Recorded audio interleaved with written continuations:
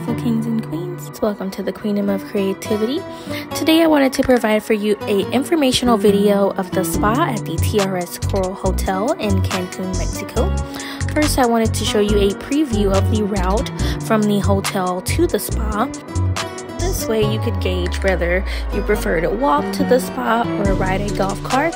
However, they have a um, concierge at the entrance of the hotel that will um, ask you if you need a golf cart serviced anywhere on the property and they will happily take you with no problem. However, I just wanted to leave this preview here in case anyone wanted to uh, walk to the spa. I do feel this is a pretty walkable uh, path here and this path leads straight to the spa. There are signs to guide you along the way. If you did prefer to walk, we rode the golf cart on the way there and walked on the way back. However, you could do both there or um, on the golf cart, or you could walk both there on the golf cart. It is totally up to you. I'm sorry if that footage was in any way shaky or dizzying. I tried my best to keep my hands stable for you, so it wasn't, you know, too shaky. Um, I hope that was helpful to someone.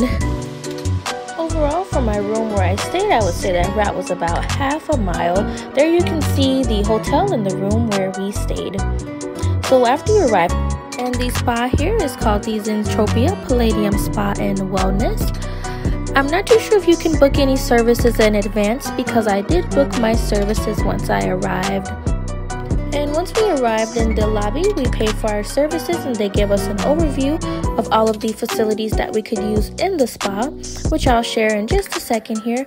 But I definitely recommend you to arrive early so that you can make use of those facilities before or after your services. And I did take my lovely mother with me to the spa because I just wanted to do something special for her. They give you those white robes in the changing rooms and allow you to take a shower before your services. Everyone here was so friendly and accommodating to uh, me and my family. However, they do have signs. If you ever forget something that they've told you, you can just follow the signs to any of their facilities. And something I feel is really important to discuss around the topic of water, especially being that I myself cannot swim.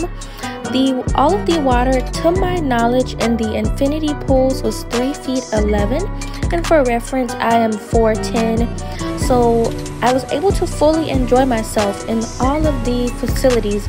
There was no concern of drowning. There were no lifeguards on duty uh, in the spa, but I had, like I said, I had no concern there. At the time we went and visited the spa, they were not very crowded. There were a few people here and there, but we all had plenty of room to spread out in our own areas. No one was on top of each other. I also wanted to point out here in the left hand corner that hallway leads to your saunas, steam rooms, showers, and tubs. When I say tubs, I'm referring to hot and cold tubs. I was able to show the cold tub, but there was a couple in the hot tub, so for their privacy, you can't see much, but it's there in the right hand corner. And when you walk up these stairs at the spa, be sure because I almost missed it at the very end of this hallway. Please go out there. There is a beautiful outdoor area with another infinity pool.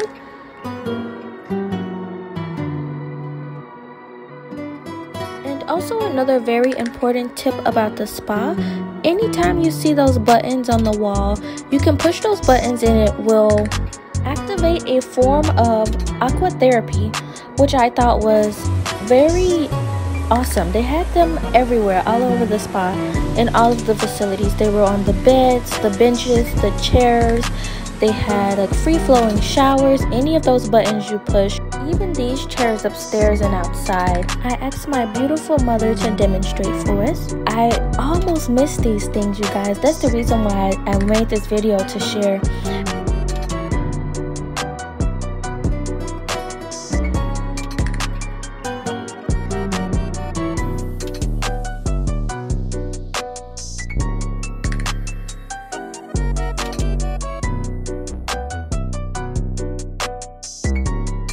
And there I am testing the waters for my mom to show her that it really was 3 feet 11 and I used the wall because like I said I can't swim so I just walked the wall to the end of the uh, pool to make sure that the entire thing was 3 feet 11 inches.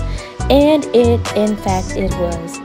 And I finally got mom to relax her hair down. So uh, when she knew that it was actually safe and that there was no risk of drowning, it looks a lot deeper because the water is so crystal clear and uh, the way they set it up is just beautiful you guys and i also wanted to point out as well in this view you can actually see the beach from here as well you can actually see the um, coastline of the beach from the spa as well. So it was very beautiful.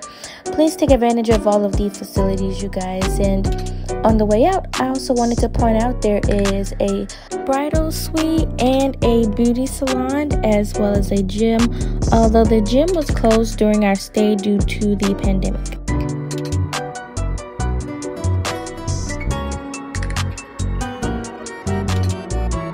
And also, do not feel bad if you do not get to go to the spa during your visits because you guys, you have spa quality in your room. The TRS, by the way, if you did not know, stands for the Royal Suites.